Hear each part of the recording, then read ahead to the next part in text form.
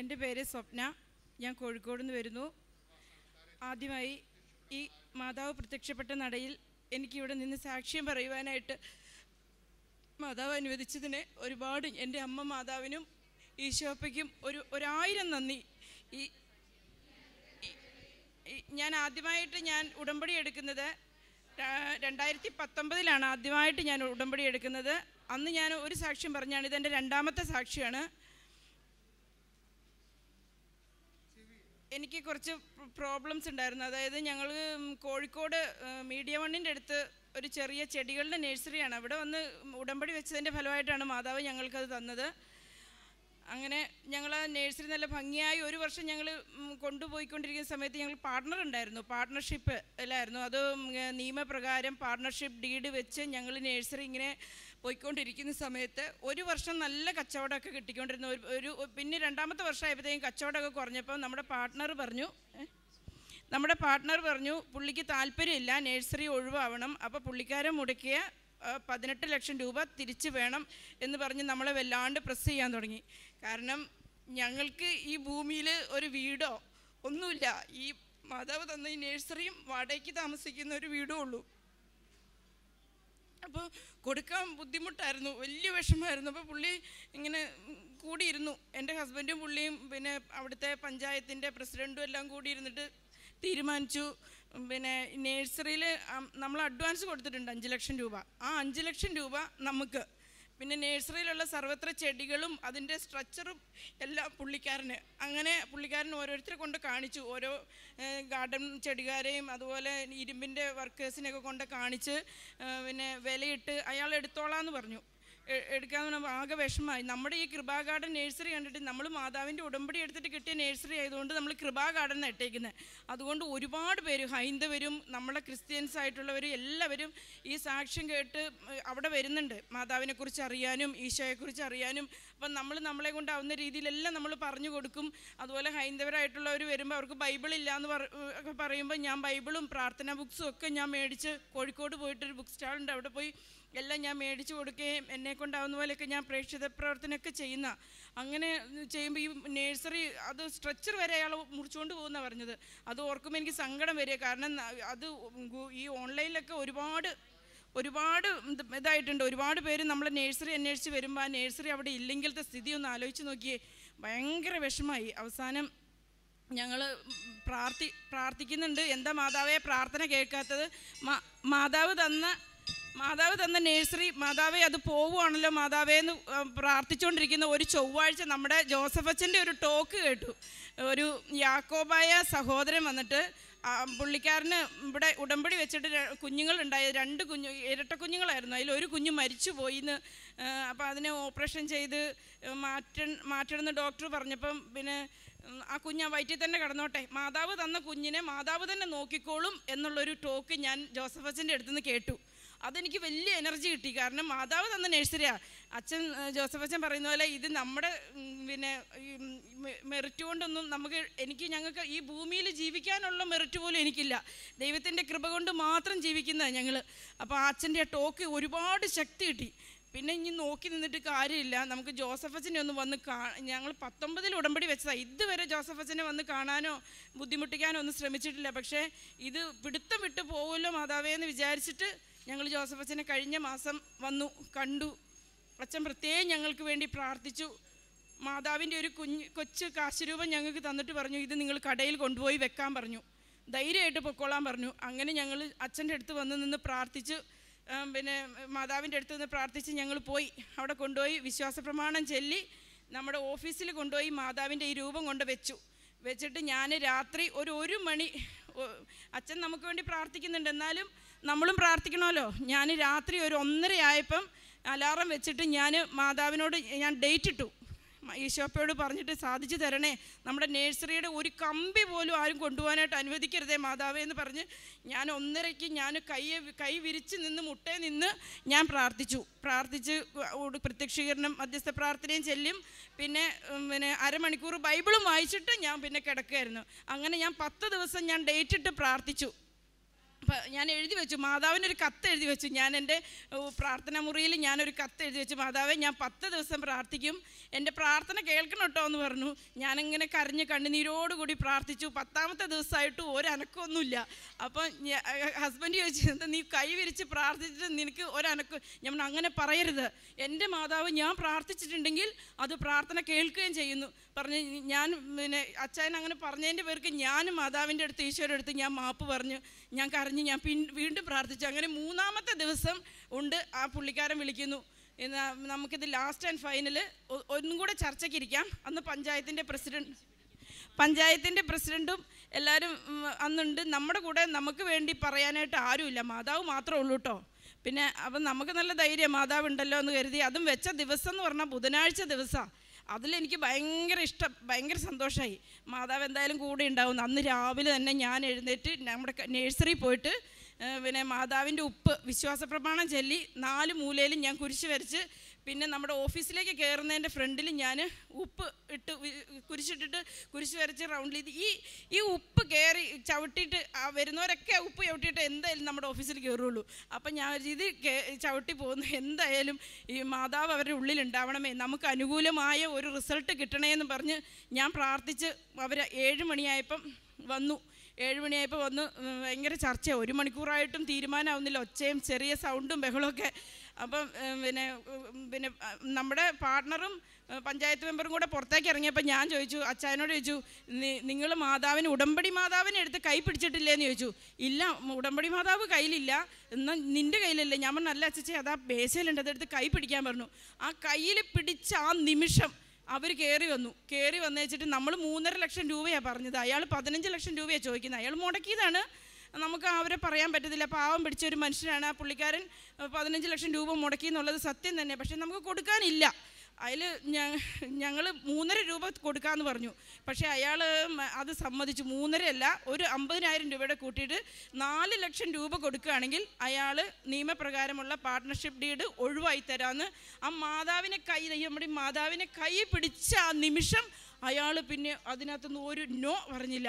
അപ്പം തന്നെ അതിന് എഗ്രിമെന്റ് ക്യാൻസൽ ചെയ്ത് നമുക്കിന്ന് സ്വന്തമായിട്ട് നമുക്ക് നഴ്സറി ഓക്കെ ആയി. ഇനിയിപ്പം നമ്മൾ അത് കഴിഞ്ഞിട്ട് നമ്മൾ ആ രൂപം കൊണ്ട് വെച്ചിട്ടുണ്ട്. കാശുരൂപം അച്ഛൻ തന്ന കാശുരൂപം ആ മേശയിൽ വെച്ച അന്ന് തൊട്ട് ഇന്ന് വരെ പതിനായിരം രൂപയെ കുറയാതെ നമ്മുടെ നഴ്സറിയിൽ നല്ല കച്ചവടമുണ്ട് ഒരു ടീം തന്നെ വന്ന ഒരു ഡോക്ടർ അവരൊക്കെ വന്നു കഴിഞ്ഞാൽ പതിനായിരത്തിന് മേലെ തന്നെ സാധനം എടുത്തുകൊണ്ട് പോകും. അതുപോലെ തന്നെ നമുക്ക് അതിന് ഒരായിരം നന്ദി. എന്റെ അമ്മ മാതാവ് ഈ തന്ന കൃപ ഒരിക്കലും നഷ്ടപ്പെടാതെ ഇനി ഒന്നും വേണ്ട. ഈ കൃപയിൽ എന്നും ജീവിക്കാനായിട്ടും അധികം മനുഷ്യന് പണവും വേണ്ട അതുപോലെ തന്നെ ദാരിദ്ര്യം ഇല്ലാതെ അന്നന്ന് വേണ്ടുന്നത് പോലെ ജീവിച്ചു പോകാനുള്ള വലിയ കൃപ മാതാവ് തരണമേ എന്ന് പ്രാർത്ഥിക്കുക.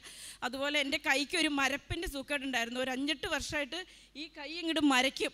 മരച്ചിട്ട് പിന്നെ രാത്രിയൊക്കെ ഓരോ ഉറക്കം കഴിഞ്ഞ് എഴുന്നേറ്റിരുന്നിട്ട് ഇങ്ങനെ കുടഞ്ഞാൽ ഇങ്ങനെ ചത്ത കൈയായിട്ട് നിൽക്കും. പിന്നെ മന്ത് പിടിച്ച പോലെ. ഇവിടുന്ന് മുറിച്ചു കളഞ്ഞാലോ എന്നൊക്കെ ഞാൻ ചിന്തിച്ചിട്ടുണ്ട്.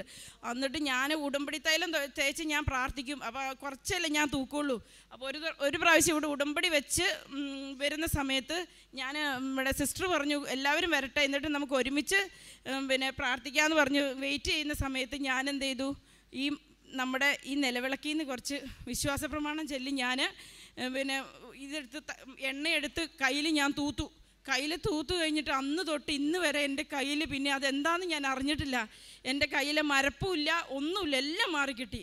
അതുപോലെ തന്നെ എന്റെ യൂട്രസിൽ തടുപ്പും മുഴയും എല്ലാം ഉണ്ടായിരുന്നു. എന്നിട്ട് ഡോക്ടർ പറഞ്ഞു ബയോപ്സി ചെയ്യണം ഡിയാൻസി. ബ്ലീഡിങ്ങും ഉണ്ടായിരുന്നു.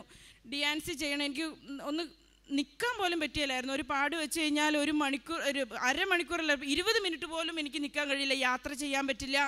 അങ്ങനെ ഒരുപാട് പ്രശ്നങ്ങളുണ്ടായി. അവസാനം? ഒരു വർഷമായിട്ടുണ്ടായിരുന്നു. ഒരു വർഷമായിട്ട് എനിക്ക് ബ്ലീഡിങ് ആയിരുന്നു. പിന്നെ എനിക്ക് പുറത്തേക്ക് ഒന്നും പോകാൻ പറ്റിയില്ലായിരുന്നു. വലിയ ബുദ്ധിമുട്ടായിരുന്നു. അങ്ങനെ ഒരുപാട് കഷ്ടപ്പെട്ട് കഴിഞ്ഞപ്പം ഡോക്ടർ ഡോക്ടറെ കാണിച്ചപ്പോൾ ഡോക്ടർ പറഞ്ഞു ഇപ്പം തന്നെ ബയോപ്സി ചെയ്യണം എന്ന് പറഞ്ഞു. പിന്നെ പതിനായിരം രൂപ അടയ്ക്കാൻ പറഞ്ഞു. അപ്പം അച്ഛന്റെ ഒരു ഫ്രണ്ട് ഉണ്ട് മെഡിക്കൽ കോളേജിൽ ഞങ്ങൾ മെഡിക്കൽ കോളേജിലാണ് താമസിക്കുന്നത്. അപ്പം മെഡിക്കൽ കോളേജിൽ ഗൈനക്കിന്റെ ഭാഗത്തിലൊരു നേഴ്സ് ഉണ്ട്. അച്ഛന്റെ ഫ്രണ്ടിന്റെ വൈഫാണ് അപ്പോൾ പുള്ളിയെ കൊണ്ട് കാണിച്ചപ്പോൾ പറഞ്ഞു അച്ഛായ എന്തിനാ ഈ വെറുതെ പൈസ കളയുന്നേ? മെഡിക്കൽ കോളേജിലാകുമ്പോൾ പൈസയൊന്നും വേണ്ടല്ലോ. അതുകൊണ്ട് ഇങ്ങോട്ട് പോര്. കൊണ്ട് കൊണ്ട് കാണിച്ചപ്പോൾ ഡോക്ടർ പറഞ്ഞു നല്ല ഡോക്ടറെ കാണിച്ചതാണ് നല്ല തടി തടിപ്പുണ്ട് മുഴയുണ്ട്. മുഴ പിന്നെ പേടിക്കണ്ട. തടിപ്പ് പ്രശ്നമാണല്ലോ നമുക്ക് എന്തായാലും ഡി ആൻ സിയും പിന്നെ ബയോപ്സിയൊക്കെ ചെയ്യാമെന്ന് പറഞ്ഞ് എനിക്ക് വ്യാഴാഴ്ചത്തേക്ക് എനിക്ക് ഡേറ്റ് ബുക്ക് ചെയ്തു. ഡേറ്റ് ബുക്ക് ചെയ്തിട്ട് ബുധനാഴ്ച ഡോക്ടർ പറഞ്ഞു ജസ്റ്റ് ഒന്ന് ചെക്കപ്പിന് വരാൻ പറഞ്ഞു. ഡ്രസ്സൊക്കെ മേടിക്കണം. അപ്പോൾ അതിന് വേണ്ടിയിട്ട് വരാൻ പറഞ്ഞു. അവിടെ ഒന്ന് ചെന്ന് ഞാൻ ഡോക്ടറെ അടുത്ത് വന്നിരിക്കുമ്പം ഡോക്ടർ എന്നോട് ചോദിച്ചു സിറിഞ്ച് മേടിക്കാൻ പറഞ്ഞായിരുന്നില്ലേ? എന്ന് ചോദിച്ചു. ഞാൻ ഇല്ല ഡോക്ടർ എന്നോട് പറഞ്ഞിട്ടില്ല. അതിൽ ഡോക്ടർ പറഞ്ഞു സിറിഞ്ച് മേടിച്ചുകൊണ്ട് വന്നു. അവന് വേഗം ഹസ്ബൻഡ് പോയി സിറിഞ്ച് മേടിച്ചുകൊണ്ട് വന്നു. ആ റൂമിൽ തന്നെ ചെറിയ റൂമിൽ ഡോക്ടർ എന്റെ ഇതിന് തടിപ്പിൽ നിന്ന് മുഴയെന്നും കുത്തിയെടുത്തു. കുത്തിയെടുത്തേച്ചിട്ട് പറഞ്ഞു ഇൻഫെക്ഷൻ ആവും അവിടെ ഇരിക്കെ. ഞാൻ മരുന്ന് എഴുതി തരാമെന്ന് പറഞ്ഞ ഡോക്ടർ രണ്ടാമത് ആ പ്രിസ്ക്രിപ്ഷൻ നോക്കുമ്പോൾ ഡോക്ടർ പറയുന്നത് അയ്യോ ഞാനിത് കണ്ടില്ലായിരുന്നല്ലോ നാളത്തേക്ക് ഇത് ഓപ്പറേഷൻ തിയേറ്ററിൽ വെച്ച കേസല്ലേ? അത് ഞാൻ മറന്നുപോയി. ഇനിയിപ്പോൾ എന്തായാലും ഡോക്ടർ തന്നെ കുത്തിയെടുത്തല്ലോ. ഇതിന്റെ റിസൾട്ട് വരട്ടെ. എന്നിട്ട് നമുക്ക് വെറുതെ എന്തിനാ ഓപ്പറേഷൻ തിയേറ്ററിൽ കൊണ്ട് മയക്കി അതൊന്നും ചെയ്യണ്ട. അതുകൊണ്ട് പിന്നെ ഇപ്പം ഇത് ഇതിന്റെ റിസൾട്ട് വരട്ടെ. രണ്ടാഴ്ച കഴിയട്ടെ എന്ന് പറഞ്ഞു. അങ്ങനെ രണ്ടാഴ്ച കഴിഞ്ഞ് ഞാൻ മാതാവിനോട് പ്രാർത്ഥി ഈ പിന്നെ ഈ ബയോപ്സി ചെയ്യുന്നതിന് മുൻപേ ഞാൻ എന്ത് ചെയ്തു? യൂട്രസിൽ ഗുളിക വെക്കാൻ തന്നായിരുന്നു. അപ്പം ഞാൻ ഉടമ്പടി തൈലം വെച്ച് ഞാൻ ഉപ്പുമൊക്കെ വെച്ച് ഞാൻ പ്രാർത്ഥിച്ച് എനിക്ക് അങ്ങനെ ഞാൻ ചെയ്യുന്നുണ്ടായിരുന്നു. നല്ലോണം ഞാൻ പ്രാർത്ഥിക്കുന്നുണ്ടായിരുന്നു. ഏതായാലും റിസൾട്ട് വന്നപ്പോൾ നെഗറ്റീവ് എനിക്ക് ഒരു കുഴപ്പമില്ല അങ്ങനെ രണ്ടു മൂന്ന് പ്രാവശ്യം ഞാൻ ഇത് ആവർത്തിച്ച് ഗുളിക വെച്ച് കഴിഞ്ഞപ്പോൾ തന്നെ എന്റെ ബ്ലീഡിങ് നിന്നു. എല്ലാം മാറി. ഇന്ന് ഞാൻ രണ്ടായിരത്തി പത്തൊമ്പത് തൊട്ടിട്ട് ഈ ഇരുപത്തി മൂന്ന് ഈ സമയം ഈ നിൽക്കുന്ന ഈ സമയം വരെ ഞാൻ ഗുളികകളൊന്നും അധികം ഉപയോഗിച്ചിട്ടില്ല.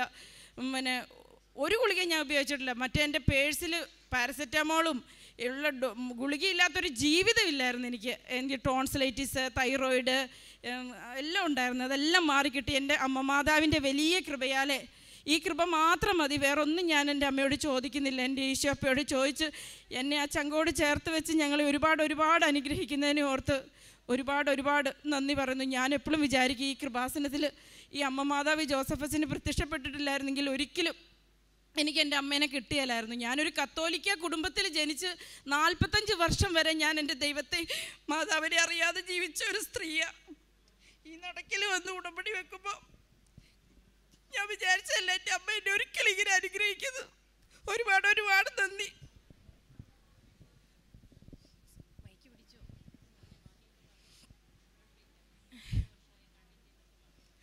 അതുപോലെ തന്നെ എന്റെ കണ്ണിൽ ഈ നമ്മുടെ എല്ലാവർക്കും വരുന്ന പോലെ ഒരു കണ്ണ് സൂക്കേട് ഉണ്ടായി ഒരു എട്ട് വർഷങ്ങൾക്ക് മുമ്പേ കണ്ണ് സൂക്കേട് കൂടിയിട്ട് എന്റെ കണ്ണ് ഇൻഫെക്ഷനായി. റെറ്റീനയിൽ വെള്ളപ്പൊടി പോലെ കറുത്ത പൊടിയെല്ലാം വന്ന് എന്റെ കണ്ണ് എട്ട് മാസം അല്ലെങ്കിൽ ഒരു ആറ് ഏഴ് മാസം കൂടുമ്പോൾ എന്റെ കണ്ണിങ്ങോട്ട് ഇൻഫെക്ഷനായി വീർത്ത് ചുമന്ന് വരുമായിരുന്നു അത് വലിയ ബുദ്ധിമുട്ടായിരുന്നു. അവസാനം ഇങ്ങനെ ഡോക്ടറെ കാണിച്ചിട്ട് ഇങ്ങനെ ഇടയ്ക്കിടയ്ക്ക് വരുന്നതുകൊണ്ട് ഡോക്ടർ പറഞ്ഞു ഇത് വേറെ എന്തെങ്കിലും അസുഖമായിരിക്കും അതും ഈ കുത്തി എടുക്കണം ബയോപ്സിക്ക് കൊടുക്കണം എന്ന് പറഞ്ഞു കഴിഞ്ഞപ്പോൾ ഞാൻ പേടിച്ചു പോയി. കണ്ണിന്റെ ഉള്ളിൽ നിന്നൊക്കെ കുത്തി എടുക്കുക എന്ന് പറഞ്ഞു കഴിഞ്ഞാൽ ഓ എനിക്ക് ഓർക്കാൻ വയ്യ സൂചിയൊക്കെ കുത്തി ഇറക്കി ബയോപ്സിക്ക്. ഞാൻ ആ അവിടെ നിന്ന് ഇറങ്ങി ഓടി. ഞാൻ പിന്നെ ഡോക്ടർ തന്ന മരുന്ന് ഇങ്ങനെ ഒഴിച്ച് കണ്ണിനിങ്ങനെ ചെറിയൊരു ചുമപ്പോട് കൂടി ഇങ്ങനെ നിൽക്കുമായിരുന്നു അന്ന് ഞങ്ങൾ ചെടി എടുക്കാൻ വേണ്ടിയിട്ട് പൂനയ്ക്ക് പോവുക ട്രെയിനിൽ. ട്രെയിനിൽ പോകുമ്പോൾ ഇതുപോലെ എന്റെ കണ്ണ് വീണ്ടും ഈ ട്രെയിനിലിരുന്ന് പൊടി അടിച്ചിട്ട് ഇങ്ങോട്ട് വീങ്ങി വീർത്ത് ഒരു പോലെ ആയി തുടങ്ങി. അപ്പം ഞാൻ വിചാരിച്ചു ഞാൻ എന്തായാലും ഞാൻ മരുന്ന് മേടിക്കാൻ പോകില്ല ഇനിയിപ്പോൾ കണ്ണിങ്ങി അങ്ങ് പൊട്ടിപ്പോയാലും വേണ്ടില്ല എന്ന് കരുതി ഞാൻ മിനറൽ വാട്ടർ കുടിക്കാൻ മേടിച്ചിട്ടുണ്ടായിരുന്നു.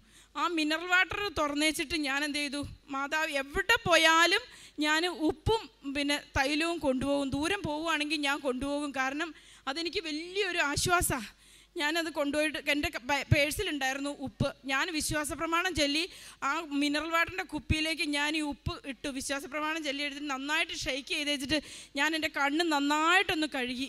കഴുകി കഴിഞ്ഞ് ഒരു മണിക്കൂർ കഴിഞ്ഞില്ല. എന്റെ കണ്ണ് നല്ലോണം തെളിഞ്ഞ് ക്ലിയറായി അന്ന് തൊട്ട് ഈ ഒന്നൊന്നര വർഷമായിട്ട് ഇതുവരെ എനിക്ക് എന്റെ കണ്ണിന് അസുഖമോ കാര്യങ്ങളോ ഒന്നും ഉണ്ടായിട്ടില്ല.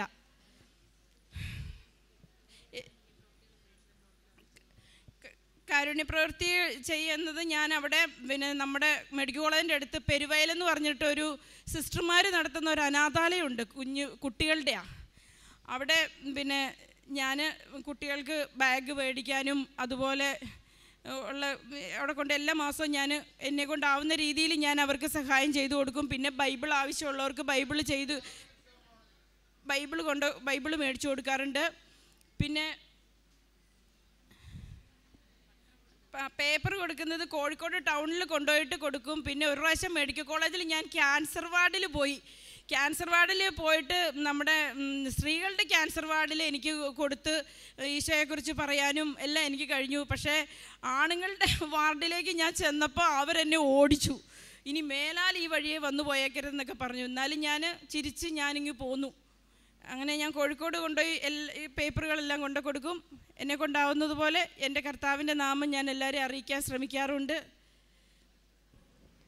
എനിക്ക് അമ്മ മാതാവ് ചെയ്തു തന്ന എല്ലാ അനുഗ്രഹങ്ങൾക്കും കൃപകൾക്കും ഈ ജന്മത്തിൽ എനിക്ക് തീരില്ല എന്നറിയാം ഞാൻ എന്നും എന്റെ മാതാവിനോടും അപ്പയോടും കടപ്പെട്ടിരിക്കുന്നു.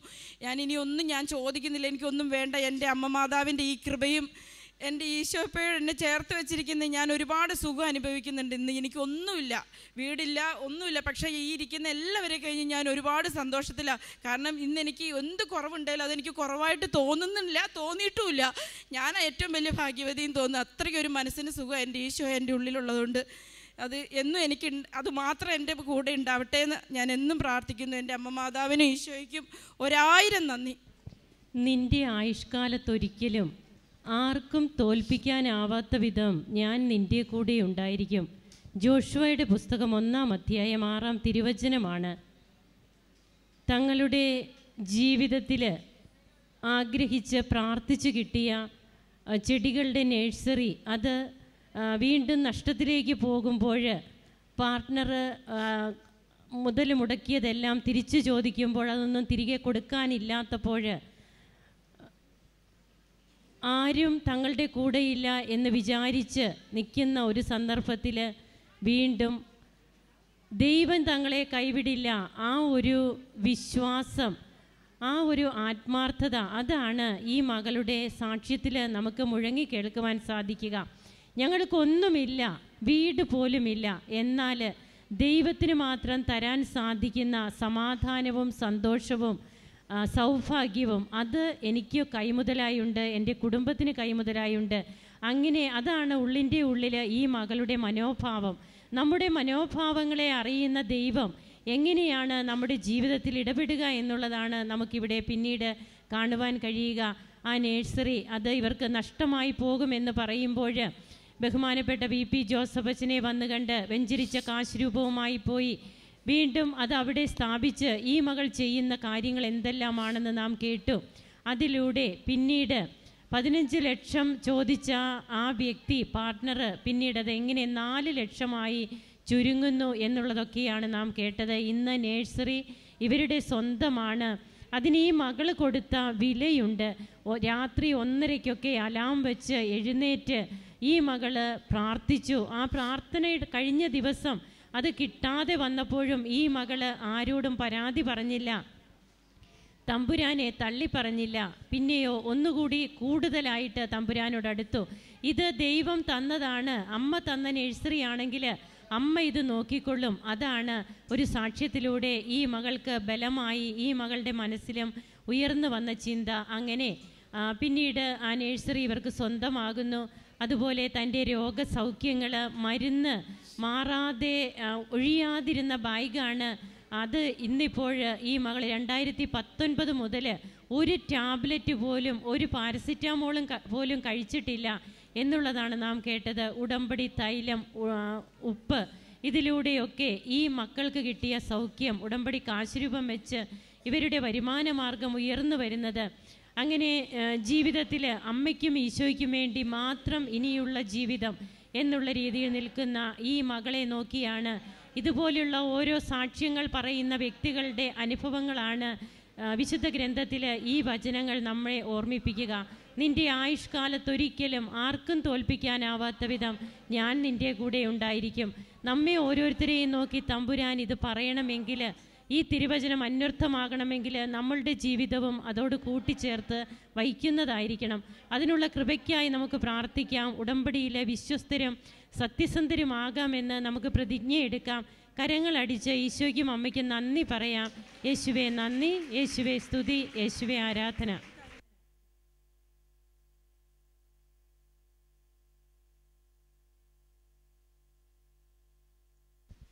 എനിക്ക് നിങ്ങളോട് പറയാനുള്ളത് ഞാൻ ഒരു ദിവസം ഇതുപോലെ വളരെ വിഷമിച്ച് സങ്കടപ്പെട്ടിരിക്കുന്ന ഒരു സമയത്ത് ഞാൻ ഈ കൃപാസനത്തിലേക്ക് വിളിച്ചാൽ ഒരിക്കലും കിട്ടുന്നതല്ല. അപ്പം ഞാൻ വിളിച്ചപ്പോൾ എനിക്ക് കിട്ടി. അപ്പം എനിക്ക് ഇവിടുന്ന് ഒരു ബ്രദർ പറഞ്ഞു തന്ന വചനമാണ് നിയമാവർത്തനം ഇരുപത്തെട്ട്. അതെന്നും നമ്മൾ ചെല്ലണം. നമ്മൾ ചെല്ലിക്കഴിഞ്ഞാൽ അതിനുള്ള ആ അന്ന് ഞാൻ ചെല്ലാൻ തുടങ്ങി. അന്ന് തൊട്ട് നീ ആരുടെയും ആജ്ഞാനുവർത്തി ആയിരിക്കുകയില്ല എന്ന് പറഞ്ഞൊരു വാക്യമുണ്ട്. നല്ല അത് നമ്മൾ നിർബന്ധമായിട്ട് എന്നും ചെല്ലുകയാണെങ്കിൽ നല്ലതായിരിക്കും മക്കളെ. അതെന്നും ചെല്ലണേ. അത്യപൂർവ ദൈവാനുഭവങ്ങൾ ഇനി നിങ്ങൾക്കും സ്വന്തം. ഈ യൂട്യൂബ് ചാനൽ ഇതുവരെ സബ്സ്ക്രൈബ് ചെയ്തിട്ടില്ലെങ്കിൽ ഇപ്പോൾ തന്നെ സബ്സ്ക്രൈബ് ചെയ്യുക.